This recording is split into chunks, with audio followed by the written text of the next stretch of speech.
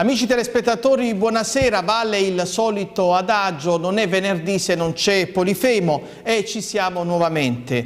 Una eh, puntata, eh, questa di Polifemo, eh, divisa in due parti. Nella prima parte parliamo di un argomento importantissimo, un, un argomento caldo proprio di questi giorni, tutte le problematiche relative alla immigrazione. Ma io più che di immigrazione vorrei parlare di immigrati perché eh, mi preme, penso prima agli ospiti qui presenti, eh, sottolineare proprio l'importanza dell'essere umano, dell'immigrato. Andiamo subito a eh, salutare i nostri ospiti, a eh, cominciare dal dottor Carlo Martello, eh, presidente di Conf Cooperative Taranto. Buonasera dottor Martello. Don Nino Borsci, direttore della eh, Caritas diocesana di eh, Taranto. E ancora alla mia sinistra la professoressa Maria Rosaria Piccini, docente a contratto di diritto e religioni nei paesi del Mediterraneo del Dipartimento Ionico presso l'Università degli Studi di Bari. E ancora alla mia destra Gian Donato eh, Losavio che è il eh, direttore del centro di accoglienza eh, SPRAR, servizio, sistema di eh, protezione eh, richiedenti asilo e rifugiati. E eh, dulcis in fondo, last but not least, Mohamed Balbe, Baldek, eh, lui è un mediatore culturale, viene dal Gambia e ci rappresenterà ci racconterà la sua storia, la condizione di eh, chi eh, viene in Italia. E allora andiamo subito in medias res e eh, ci rivolgiamo al dottor Carlo Martello, presidente di Conf Cooperative eh, Taranto. Dottor Martello, parliamo, occupiamoci dei criteri del, dell'accoglienza e poi perché sì o no all'accoglienza. Eh è una, è una domanda molto pertinente questa. Io di fronte a questa eh, moltitudine di persone disperate che lasciano il paese di origine e si spostano verso, verso altre nazioni, io ho un approccio coerente a quella che è la mia formazione religiosa. Io sono un cattolico, quindi di fronte a questo bisogno la mia posizione è che bisogna dare un aiuto, bisogna aiutare questa gente che fugge dalle, dalle proprie, dai propri territori, no? non voglio chiamarle neanche nazioni, perché è disperata, perché a volte, anzi molte volte manca eh, delle necessità primarie, manca del cibo per sostenersi. Noi abbiamo notizie spesso purtroppo approssimative dei luoghi di provenienza di queste persone, ma c'è una ricerca molto puntuale della Caritas che ci dice che la uh, prima esigenza di questa gente è quella di potersi alimentare.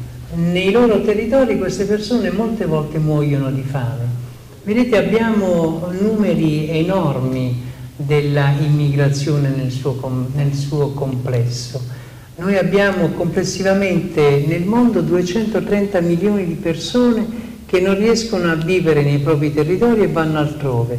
In Italia abbiamo 5 milioni di immigrati che si sono fermati in Italia, in Puglia ne abbiamo 100.000, a Taranto 10.000 persone che si sono fermate nella nostra città trovandovi condizioni di vita impensabili nei territori da dove provengono. Quindi ribadisco, eh, dobbiamo innanzitutto eh, accoglierli per consentirgli di vivere, perché vengono da territori nei quali non possono vivere. Io sono un cattolico, quindi prima di tutto guardo a questa esigenza fondamentale. Perfetto. Don Nino Borci, direttore della Caritas diocesana di Taranto e eh, partito il progetto della Caritas, un progetto di eh, accoglienza, abbiamo tutti eh, ascoltato le parole, eh, l'input lanciato da eh, Papa Francesco. Parliamo di questo progetto e parliamo soprattutto dei numeri inerenti allo stesso. Beh, intanto bisogna sottolineare che la Caritas è da, da quando è nata che ha avuto sempre un'attenzione particolare verso gli immigrati eh, la, la sua attenzione non è stata soltanto rivolta solo alla semplice accoglienza, ma ha mirato sempre alla integrazione. Perché lo sforzo principale è proprio questo, quello di impegnarsi perché coloro che arrivano possano sentirsi come a casa propria. La cosa è un po' difficile, richiede del tempo, però con, con la, la, pazienza, con l'accortezza e con la disponibilità eh, la cosa è possibile. Quindi credo che sia uno dei, degli obiettivi principali che la Caritas ha avuto. In quest'ultimo periodo, dopo specialmente l'accorato invito di Papa Francesco circa l'accoglienza, quando ha detto chiaramente aprite le porte delle chiese, aprite le porte delle canoniche, aprite il cuore rivolto alle famiglie, no?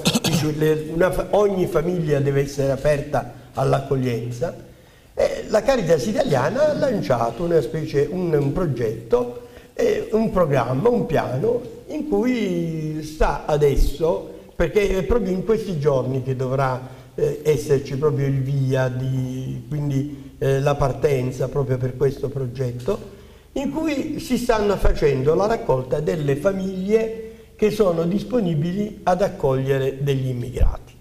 Noi qui a Taranto non l'abbiamo ancora iniziato perché io ancora non ho avuto modo. Io sto aspettando al convegno che faremo il 15 e il 16 dicembre in cui verrà eh, il professor Oliverio dal, eh, da Roma, dalla Caritas italiana, ed è il responsabile nazionale dell'immigrazione di Caritas italiana.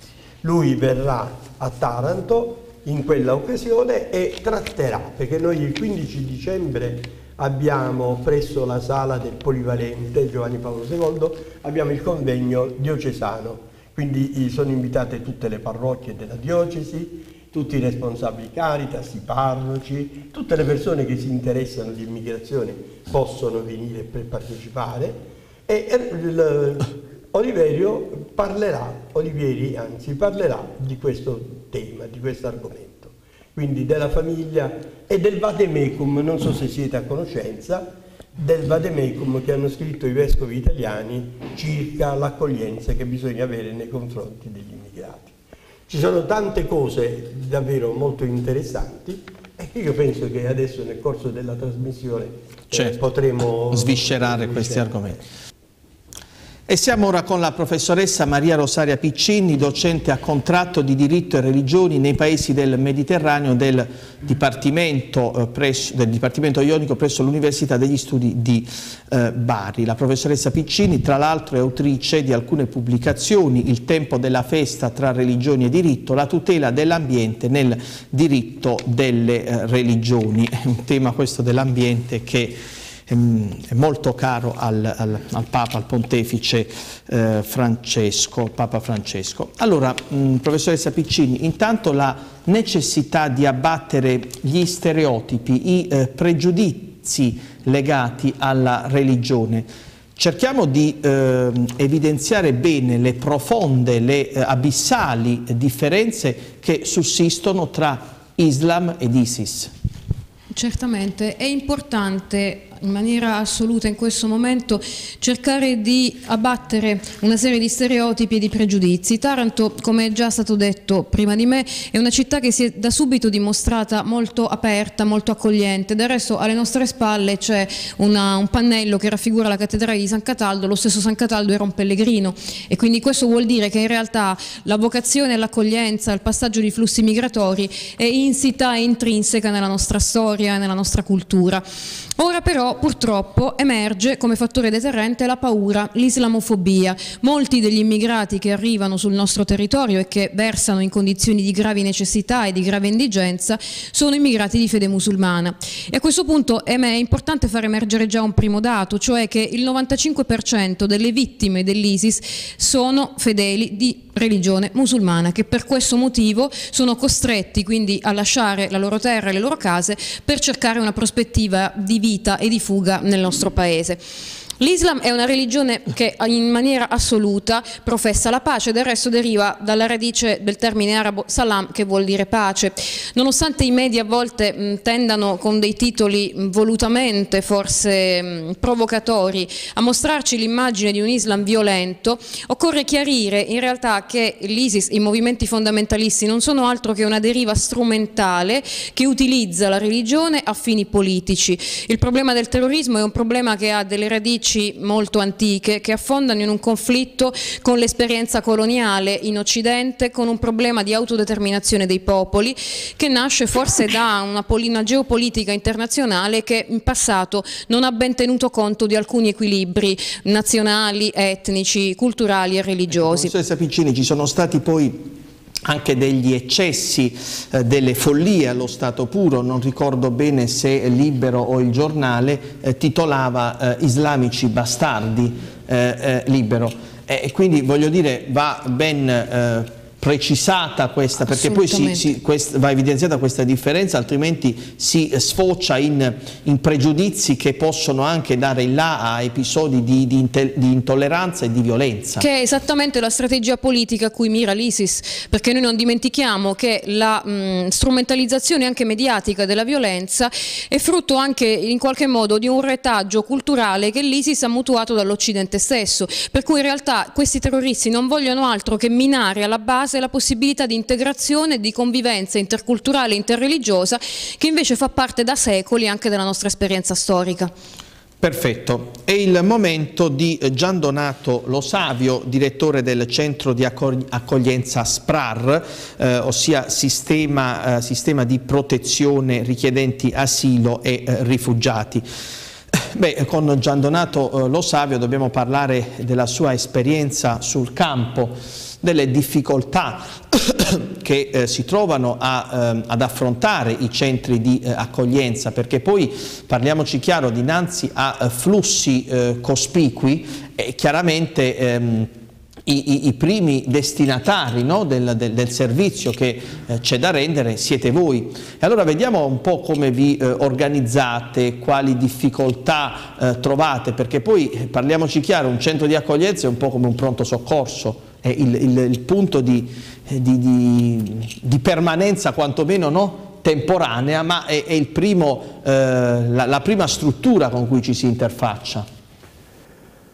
Sì, io parto comunque dalla, dal presupposto che uh, il centro d'accoglienza SPRAR è un centro di seconda accoglienza, però l'esperienza ci, porta, uh, ci ha portati comunque con, uh, con la Caritas ad avere anche a che fare con centri di prima accoglienza e uh, le prime, primissime difficoltà uh, risiedono soprattutto dalla, almeno per parlo della, della mia uh, personale esperienza dal punto di vista umano.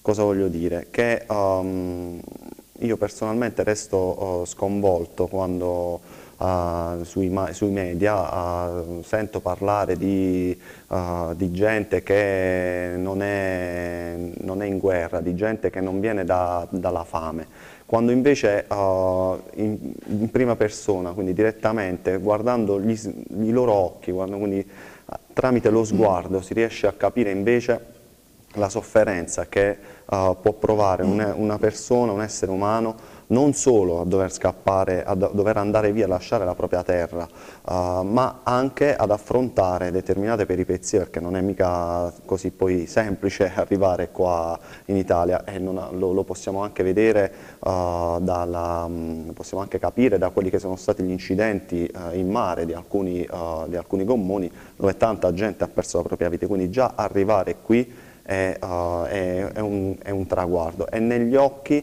ecco, ripeto, si vede la sofferenza. Che cosa, che cosa ci, ci, caratterizza? Appunto uh, l'accoglienza, l'essere uh, cristiani, perché la Caritas è un ente cristiano, e quindi aprire le braccia, aprire le porte, o come ha detto Papa Francesco, io ci tengo in quanto essendo un capo scout, come ha detto a noi scout, fate ponti, quindi fare ponti. La, la, le prime difficoltà sono quelle proprio, ecco, come, come, si diceva prima, eh, mutuando proprio il termine di pronto soccorso.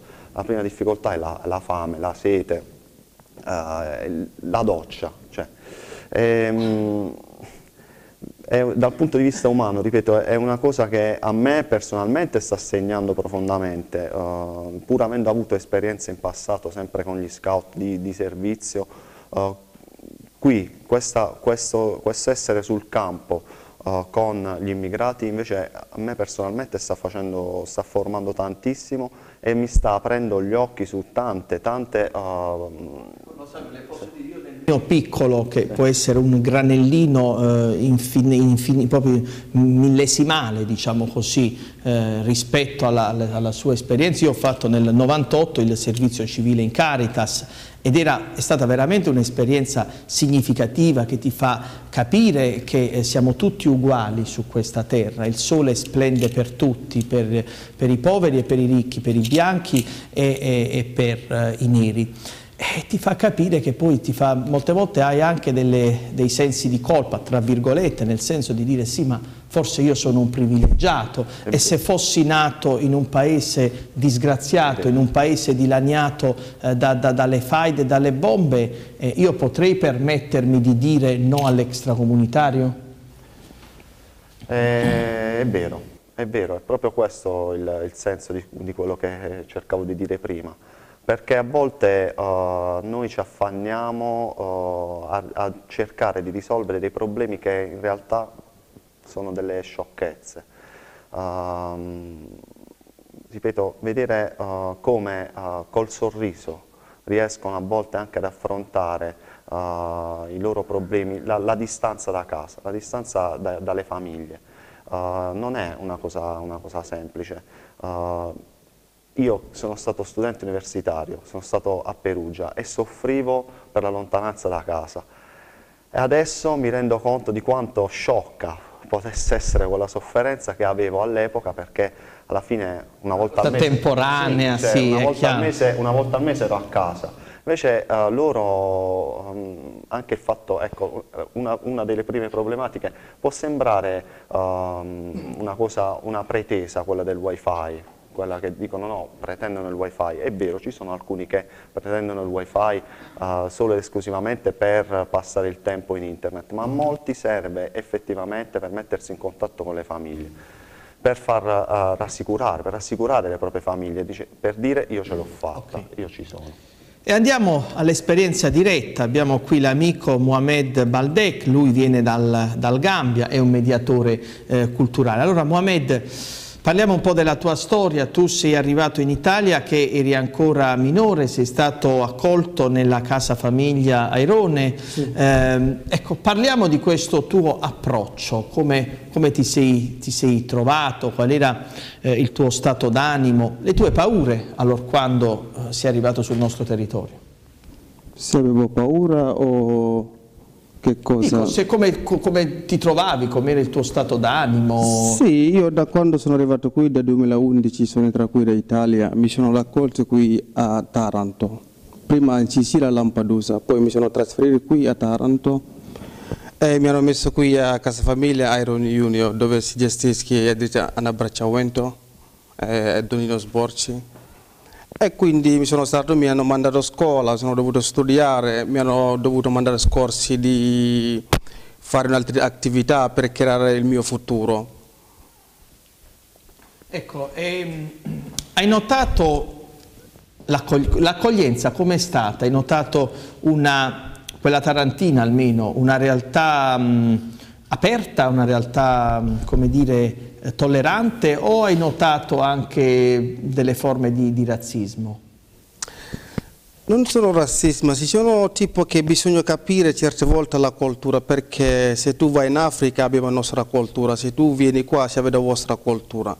Quindi certe volte bisogna capire che non sono razzismo, certe volte sono mancanza di capire nella cultura, pure questo ci sono.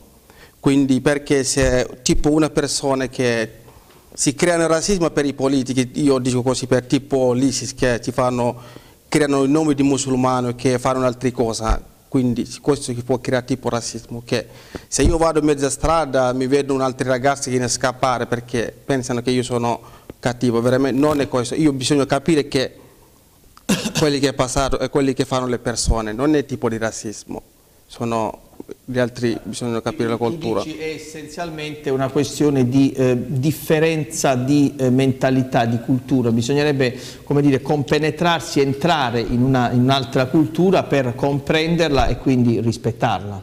Eh sì. Perfetto. Ritorniamo da eh, Carlo Martello.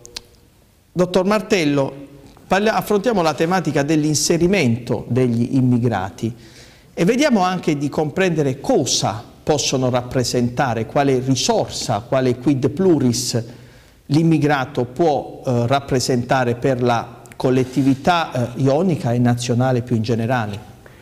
Hanno una carica, fatemi passare il termine, hanno una carica, un dinamismo certamente interessante rispetto a una società come la nostra che è un pochino assonnata, un pochino, intorpidi, un pochino intorpidita, lo vediamo eh, soprattutto per l'andamento dell'economia, lo vediamo anche così come società nel suo complesso, un po' affievolita. Eh, queste presenze invece vengono fortemente eh, caricate, ma d'altra parte pensate se affrontano i rischi che affrontano per arrivare eh, anche da noi in quelle condizioni indubbiamente hanno una forte carica. Cosa succede quando arrivano qui da noi? Ebbene, riescono a inserirsi. Nei primi momenti vi è un inserimento in attività economiche prevalentemente del terziario, ma un terziario, fatemi passare il termine, un terziario povero, meno eh, interessante dal punto di vista economico è un, lasciato un po' trascurato da noi perché meno mh, mm, dotato dal punto di vista economico, però eh, vi è anche una, eh, una soddisfacente presenza in, nelle imprese.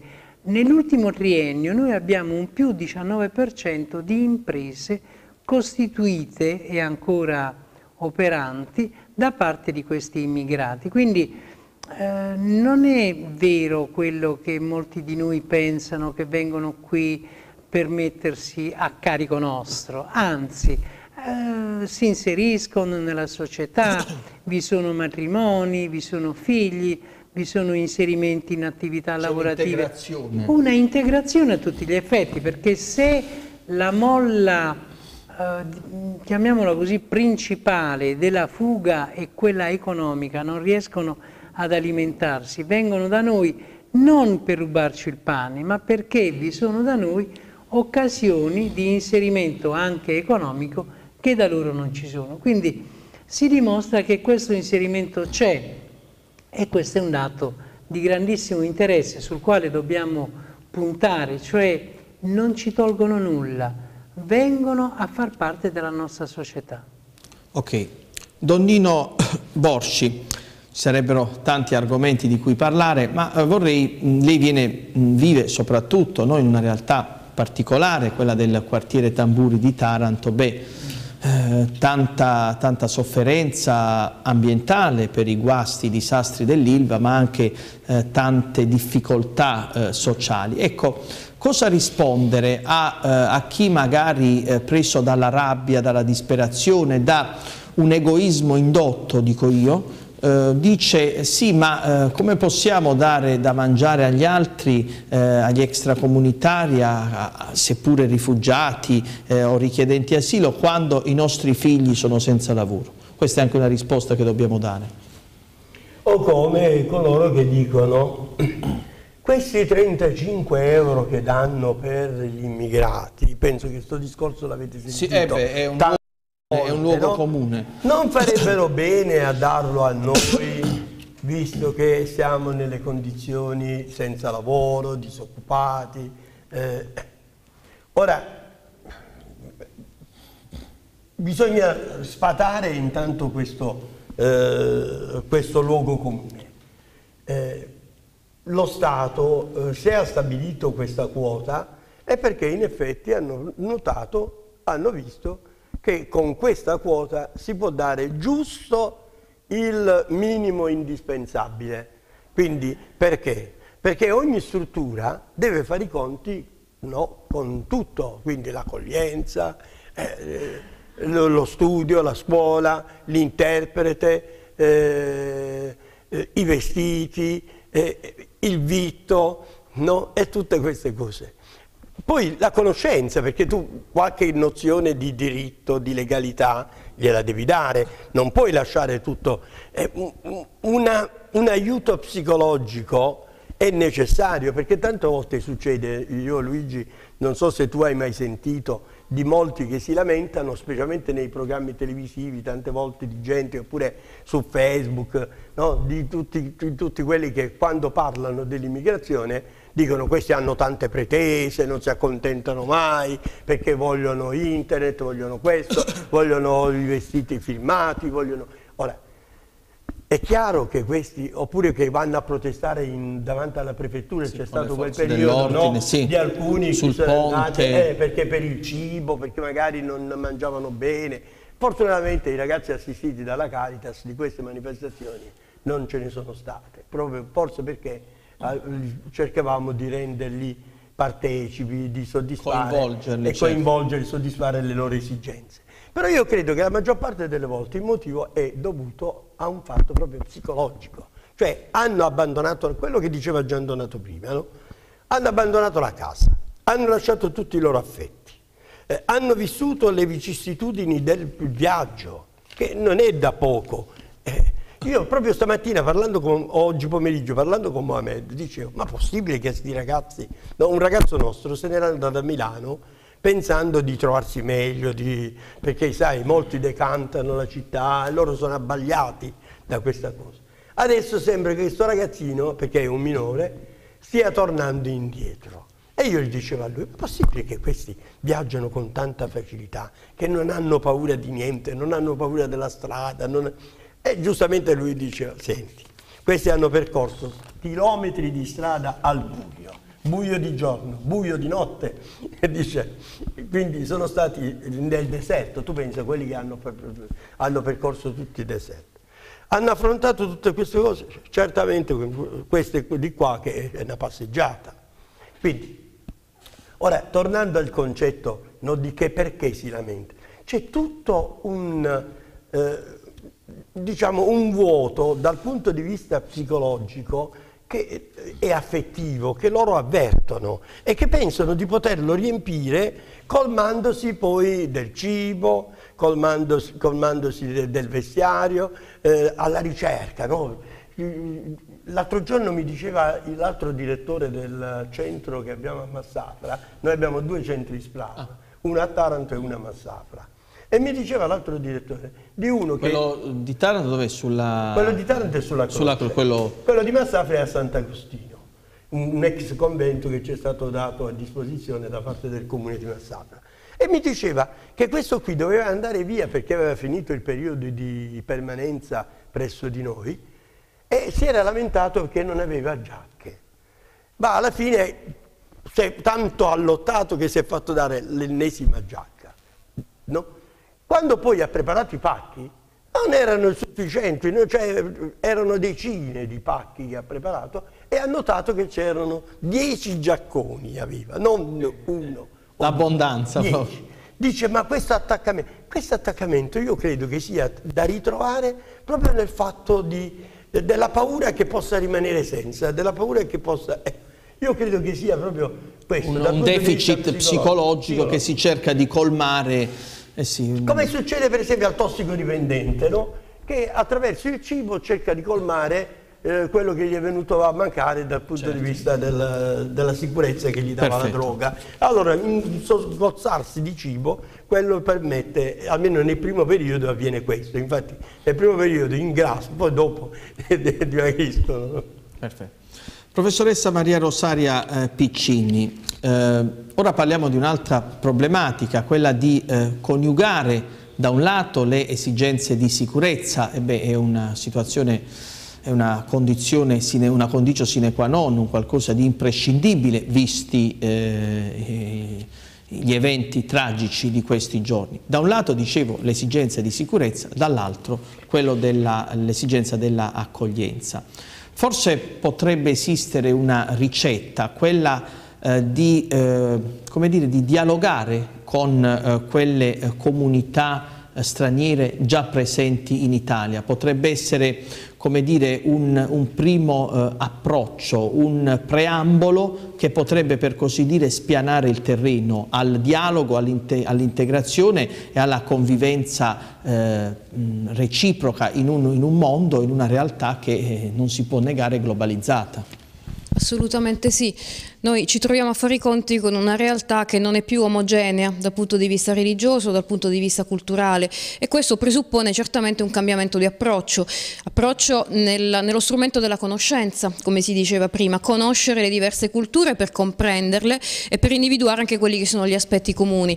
Bisogna evitare di cadere in due trappole, una è la trappola dell'etnocentrismo, quindi del sentirsi superiori eh, nel modo di applicare i diritti umani, nel modo di gestire la convivenza le relazioni sociali, l'altro è il relativismo culturale, quindi arrivare ad annullare la propria identità per inglobare l'altro e questo per esempio è il caso di qualche preside scolastico che per esempio rinuncia agli addobbi natalizi o pretende di estrapolare qualunque riferimento alla fede religiosa cristiana in nome di un'accoglienza. Non è questa la strada da seguire a mio avviso. Sì, perché, perché... si è creato proprio, proprio di questi giorni le polemiche eh, sui, sui, presepi, sui crocifissi. Ehm... Eh, sì, io credo che sia un non è un approccio interculturale, è un approccio relativista questo, anche perché, e questo ce lo dice anche la nostra Costituzione, laicità, integrazione, libertà religiosa, eh, non presuppone l'assenza in una società di qualunque tipo di riferimento legato strettamente a un'appartenenza. I valori della religione cristiana sono i valori in nome dei quali noi stiamo rispondendo ad una, ad una domanda di accoglienza, è stato detto più volte, noi accogliamo perché siamo cristiani e i simboli religiosi non, non sono soltanto dei simboli religiosi ma sono dei simboli che sono entrati fortemente a, a connotare la nostra identità e la nostra appartenenza culturale. Privarcene non è la modalità di dialogare, di integrare. L'approccio deve essere un altro, deve essere quello innanzitutto di valorizzare mh, mm, gli strumenti educativi finalizzati alla conoscenza e al confronto delle diverse culture. Confronto tra due identità presuppone che le identità esistano senza che nessuna debba necessariamente scomparire per far posto all'altra e soprattutto anche individuare a livello normativo, perché io mi occupo di diritto delle religioni, anche delle modalità di eh, dialogo istituzionalizzato. Noi abbiamo per esempio delle comunità musulmane che, con cui però non si riesce ad individuare una forma di intesa comune. È chiaro che chi arriva sul territorio italiano ha delle esigenze che sono innanzitutto esigenze primarie, come si è detto, legate al cibo, alla sopravvivenza, ma poi diventano anche delle esigenze mh, di tipo religioso, per esempio, quindi il diritto alla sepoltura, il diritto allo spazio per la preghiera, il diritto a un'alimentazione conforme con i precetti della propria religione, che sono diritti assolutamente garantiti dalla nostra Costituzione.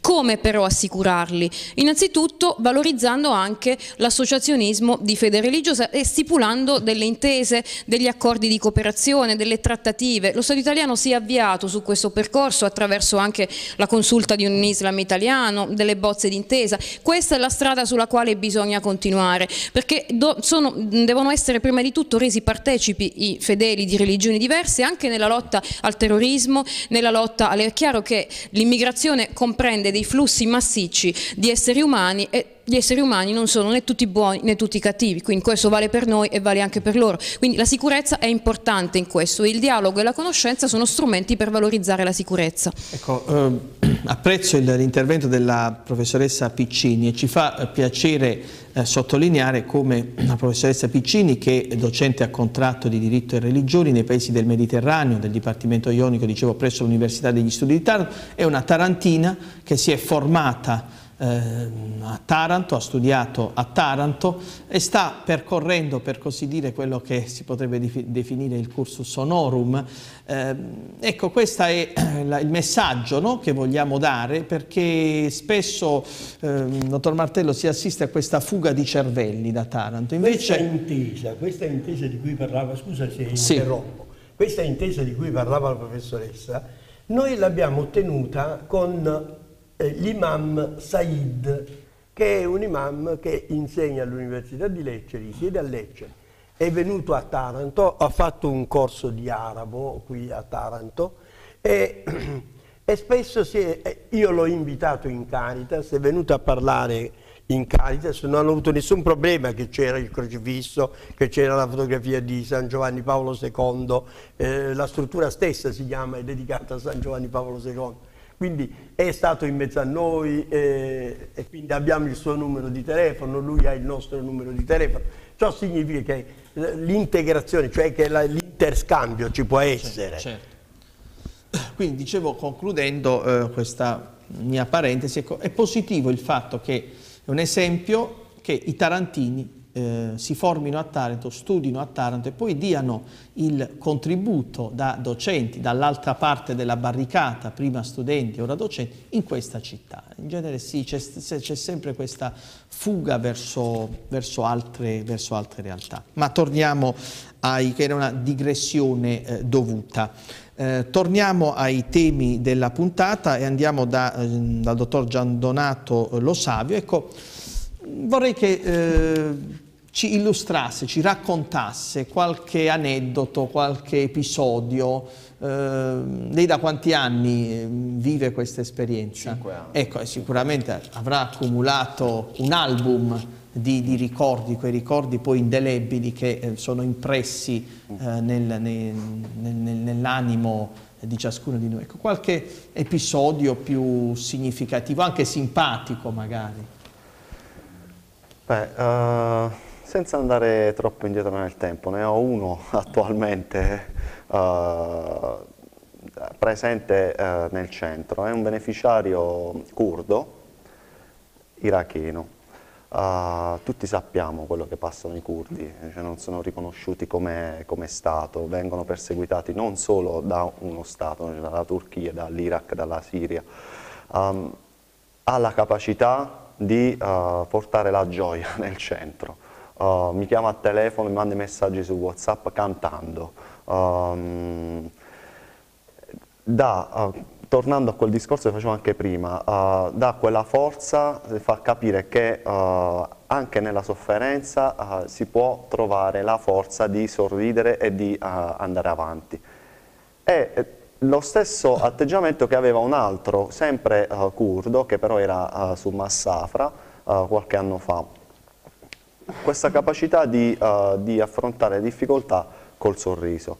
Un altro aneddoto simpatico, eh, non perché lui sia qui presente, eh, proprio oggi pomeriggio eravamo in ufficio da Donnino, ci siamo stretti la mano e mm, abbiamo sorriso no, sulla, diciamo, dette, beh, ma facciamo la pubblicità della, della Ringo, no?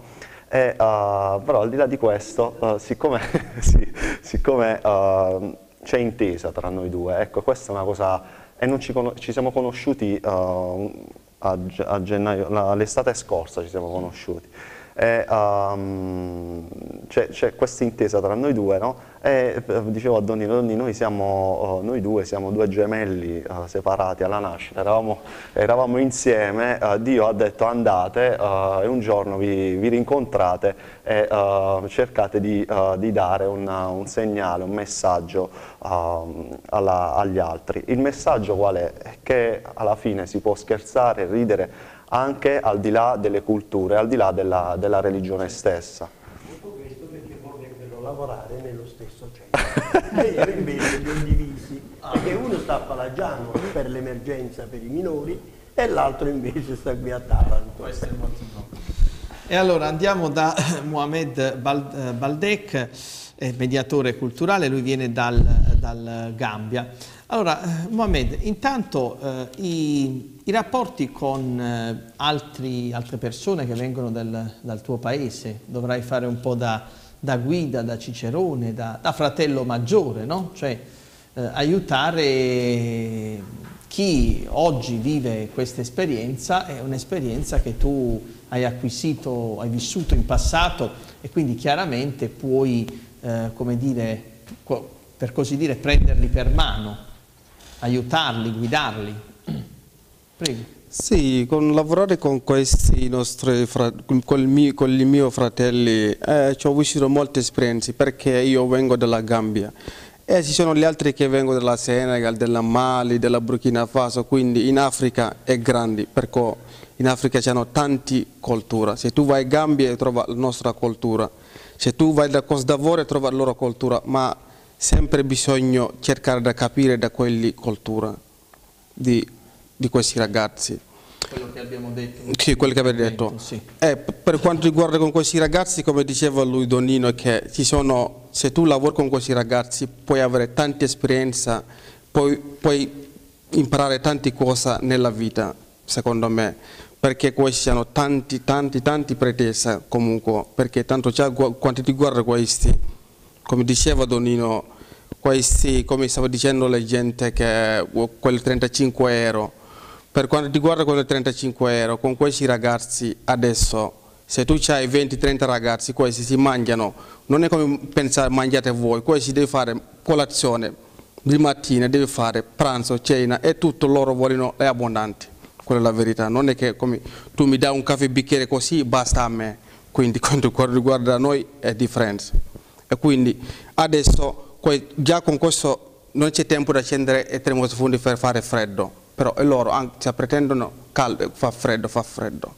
Quindi ci sono tante culture, bisogna capire. Allora è lui, rendo conto, è, grazie a Dio e grazie che lui sta capendo, sta affrontando con situazione di aiutare di questi ragazzi, veramente, quindi sta capendo come sta andando a Milano con i ragazzi. Sì, okay. Grazie, buonasera. No, ancora.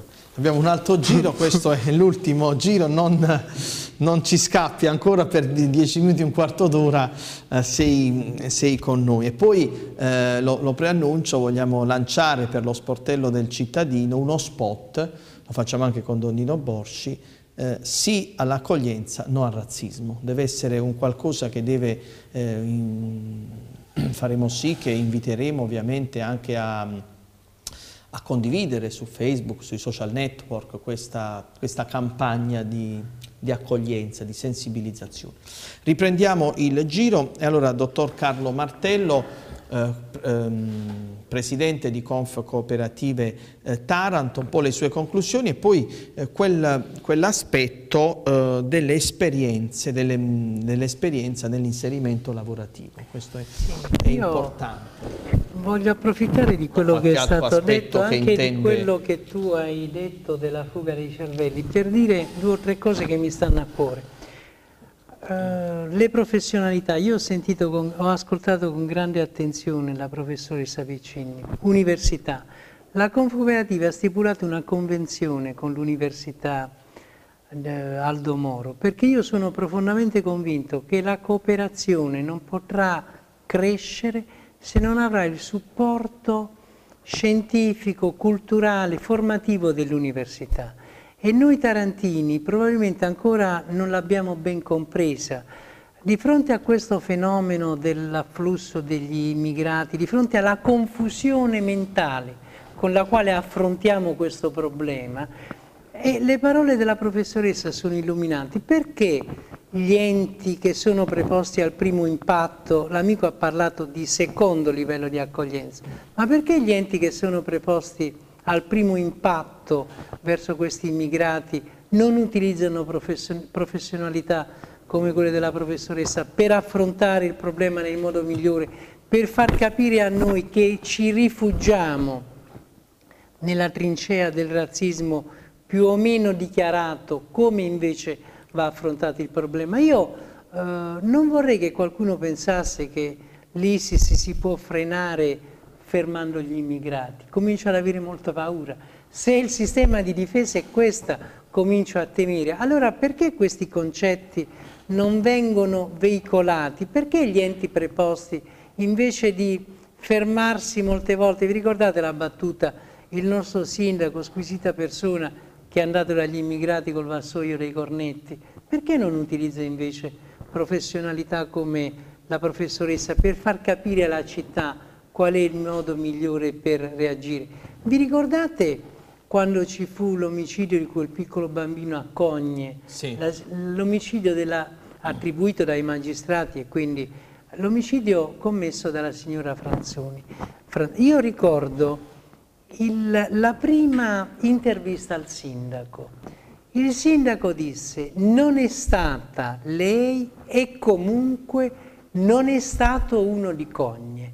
Noi dobbiamo uscire da questo cerchio che noi siamo buoni e bravi e il cattivo è fuori, il cattivo è altrove. No, il male, ce li abbiamo in casa. Il male è in mezzo a noi. Poi purtroppo abbiamo visto la storia, i tragici esempi che ci ha dato anche nel nostro territorio, che il cattivo, il malvagio è anche da noi.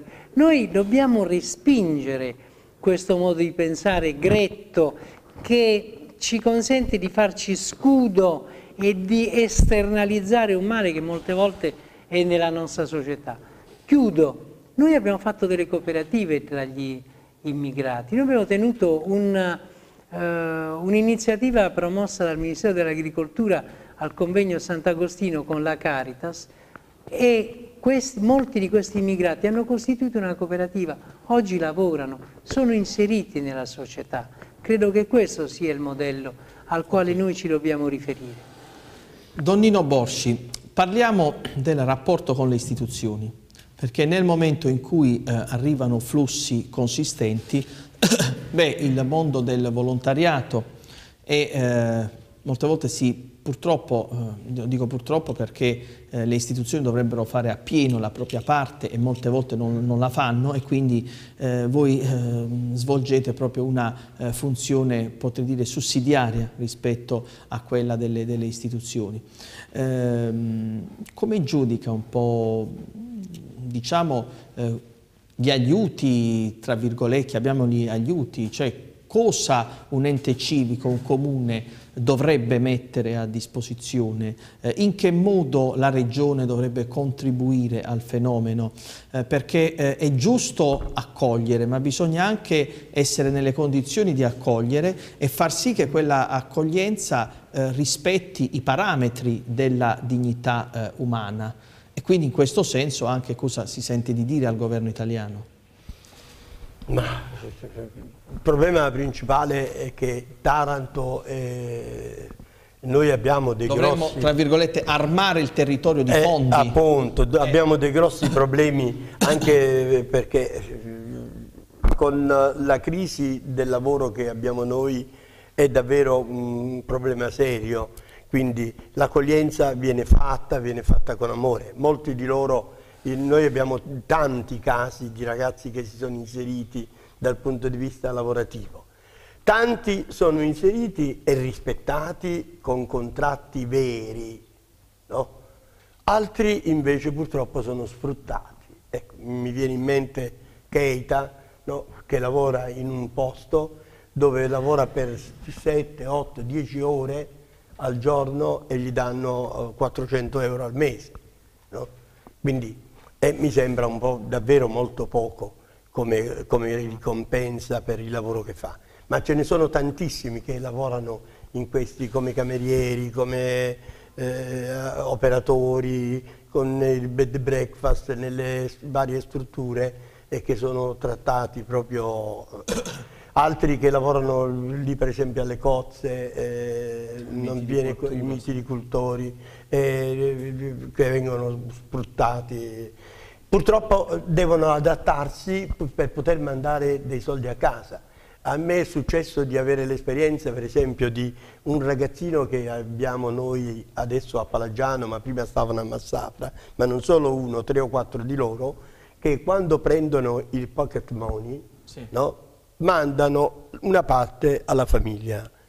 Cioè noi diamo 2,50 euro al giorno eh, a ogni ragazzo accolto, e quando gli vengono dati questi soldi, alcuni li consumano per, magari per completare, per prendersi quella camicia all'ultimo grito che hanno visto a scuola, e gli altri soldi per esempio li mandano a casa per, uh, per aiutare la famiglia. Quindi cioè, ritengo che comunque tutto questo fermento, purtroppo però noi, la Regione, eh, dovrebbe organizzare dei corsi di formazione eh, per l'avviamento al lavoro, ma che dovrebbero essere eh, per tutti, cioè per i ragazzi del, di Taranto che sono senza lavoro, in modo che possano essere attivati e formati per poter accedere a qualche lavoro, magari delle borse lavoro. Io ho sentito che adesso Renzi sta pensando di dare 500 euro ai diciottenni. Eh, la cosa mi sembra cioè una mossa, penso più che altro politica propagandistica, demagogica, demagogica populista. Ma perché? Perché non ha senso, cioè darlo una volta. Eh, io ho visto, quando io sono andato in Svezia, ho visto che in Svezia c'è una, una, somma che viene data ai ragazzi ma studenti, sistematicamente. ma viene data ogni mese. Sistematicamente. Eh, sistematicamente, tanto che questi possono persino abbandonare la famiglia e andare a vivere per conto loro. Sì.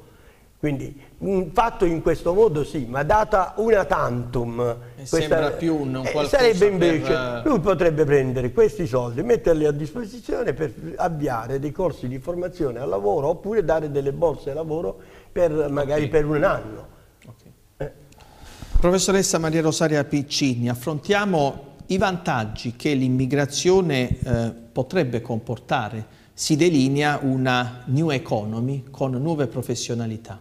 Certo, io innanzitutto volevo ringraziarvi per le di nei miei confronti, ma questo mi ricollega anche alla risposta alla domanda che mi ha posto in questo momento, cioè le nuove professionalità. Il ruolo che l'università può giocare ed è un ruolo chiave per lo sviluppo del territorio e anche per la connotazione dell'identità tarantina, lo sviluppo di nuove professionalità e di una nuova classe dirigente. Da qui la scelta anche di avviare questo nuovo insegnamento che mi è stato affidato per contratto che è diritto delle religioni nei paesi del Mediterraneo si parla tanto di riconversione di Taranto, quindi di diciamo, abbandonare questo retaggio eh, di Taranto strettamente legato alla grande industria e individuarne delle potenzialità a tutto tondo.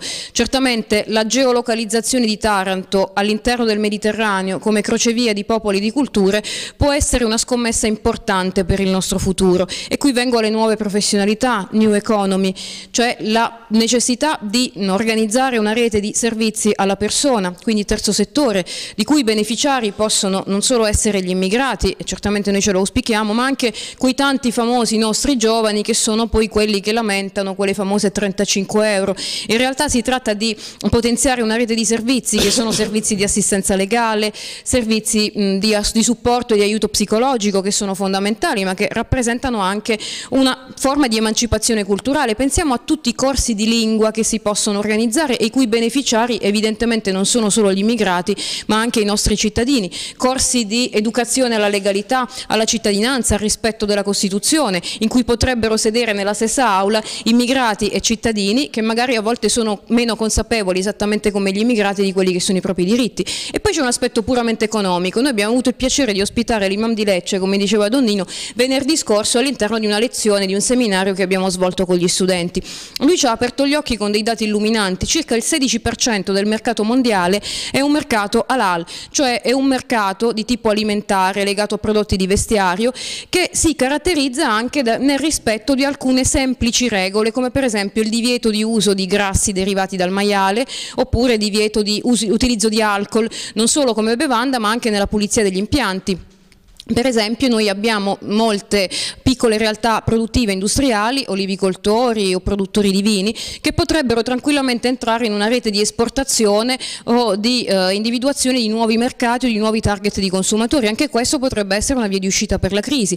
Parlava per esempio di prodotti di turismo muslim friendly, cioè mh, persone che dall'Arabia Saudita, dall'Indonesia, perché l'Islam è una realtà molto strutturata, per cui esiste anche un Islam molto abbiente in questo momento, che potrebbe scegliere come meta per le proprie vacanze il Salento e non lo sceglie semplicemente perché mancano quei piccoli accorgimenti che servirebbero a garantire il rispetto di alcune semplici regole, quindi nuove potenzialità economiche che noi a volte ignoriamo per pura ignoranza o pregiudizio o razzismo. Eh, Gian Donato Lo Savio, direttore del centro di accoglienza eh, SPRAR. E allora, Lo Savio, raccontiamo un po' la giornata tipo. Come dalla mattina alla sera, ovviamente per, per tappe. Allora, uh sostanzialmente è una giornata uh, abbastanza eterogenea, cosa voglio dire? Che uh, è, proprio, um, è, proprio, un obiettivo del centro, de, del centro di accoglienza SPRAR, quindi di, di, tutti gli SPRAR, avere uh, degli obiettivi mirati per singole, singolarmente per ciascuno dei beneficiari. Quindi, Uh, la mattina ci sono, uh, almeno parlo del, del, mio centro, abbiamo tre ragazzi che uh, si alzano, quattro, chiedo scusa, quattro ragazzi si alzano la mattina presto per andare due a scuola all'Archimede e due seguono un corso di formazione a programma sviluppo. Il resto dei beneficiari invece la mattina segue dei corsi di lingua italiana all'interno della nostra struttura e quindi diciamo che sostanzialmente la mattinata si svolge in questo modo. Eccezione fatta per coloro che uh, da soli o magari coadiuvati da noi sono riusciti a trovare un, um, un lavoro e che quindi si alzano e la mattina vanno a lavorare. Uh, il pomeriggio invece uh, diciamo, c'è più libertà, uh, c'è chi va in palestra, chi va in città a raggiungere gli amici, i propri connazionali che risiedono in altri centri, oppure come è successo nelle ultime due settimane um, i ragazzi hanno potuto seguire un corso di formazione professionale uh, essendo, avendo seguito un corso base per pizzaiolo. Quindi ogni pomeriggio, oh, nelle ultime due settimane, hanno finito proprio venerdì scorso, si sono recati uh, in una pizzeria dove sono stati seguiti da uh, un pizzaiolo, un istruttore uh, professionista che ha fatto vedere loro come, appunto, qual è il processo per fare, per, fare, una pizza. E, hanno brillantemente superato tutti gli esami, tutti quanti l'esame e quindi a breve anche noi daremo vita a una sorta di festa dove li metteremo alla prova uh, e uh, a nostro spero vantaggio uh, assaggeremo, ecco. assaggeremo, queste pizze e, e, poi vabbè la sera ci sono momenti alcuni di loro si riuniscono in camera per stare insieme, altri che seguono lo sport hanno la possibilità tramite Mediaset Premium che abbiamo ha fornito loro, quindi hanno la possibilità di seguire la Champions League, di seguire... Sì, sì, sì. Di che squadra sono tifosi prevalentemente? Prevalentemente Real Madrid e Barcellona, se dobbiamo dirlo. Per quanto riguarda, sì, sì, quanto, per quanto riguarda le italiane, Milan e Juventus, non, non, ci sono altre... Se fossero tutti Io abbiamo creato uno spazio per la piccola moschea. Sì, esatto, stavo appunto per dire che eh, una cosa che non manca per tutti è proprio la preghiera. Uh, nel periodo di Ramadan ovviamente pregano, uh, tendono a pregare uh, tutti quanti insieme, ma mentre durante la giornata individualmente vedo che okay. qualcuno si affaccia in moschea e prega anche da solo. E allora siamo al momento, all'ultimo intervento, quello di Mohamed Baldek. Eh, da quanto tempo non ritorni in Gambia? Eh, si sente la nostalgia perché sì, tutta l'accoglienza che ci può essere, però la propria terra è la propria terra. Da cinque anni. Ma per motivi tuoi o ci sono proprio dei problemi diciamo, relativi alla sicurezza per cui non ti diventerebbe un po' rischioso, pericoloso ritornare? Non...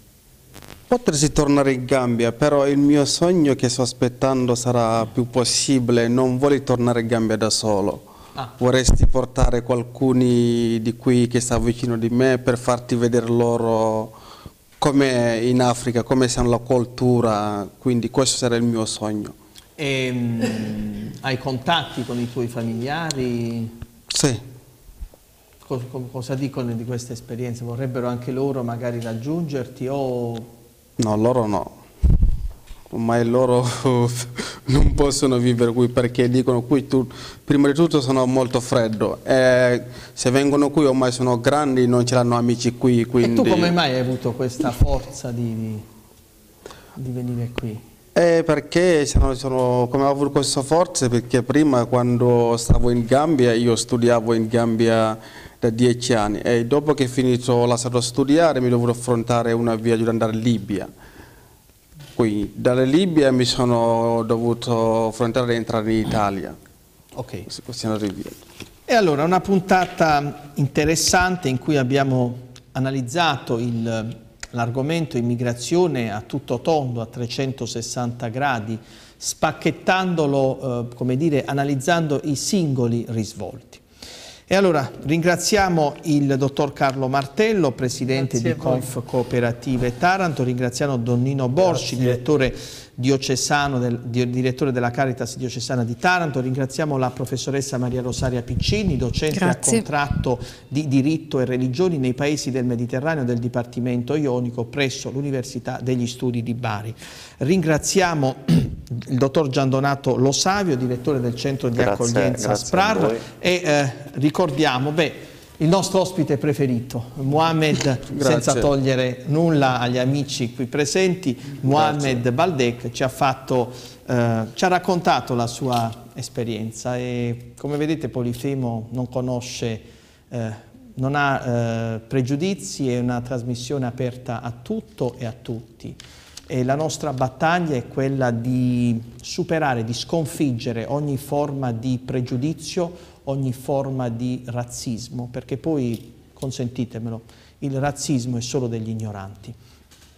Ora eh, seguiamo anche noi questo mh, mm, cronoprogramma, finita questa parte eh, abbiamo ovviamente eh, gli obblighi pubblicitari, ma prima ancora ehm, degli obblighi pubblicitari abbiamo uno, un nostro, il nostro spazio, il nostro eh, angolo eh, musicale, anche per spezzare un po' eh, la... Mh, mm, pesantezza tra virgolette, tra virgolette, dei temi, con, siamo con Jep e ehm, e Dania che ci danno qualche nota di colore e eh, di musica. Al rientro poi eh, la seconda parte di Polifemo e parleremo di eh, lavoro, parleremo delle iniziative di Confartigianato, ehm, appunto con riferimento all'iniziativa Formarti e quindi tutta la problematica relativa alla sicurezza dei centri di eh, estetica. Non cambiate canale, restate con noi.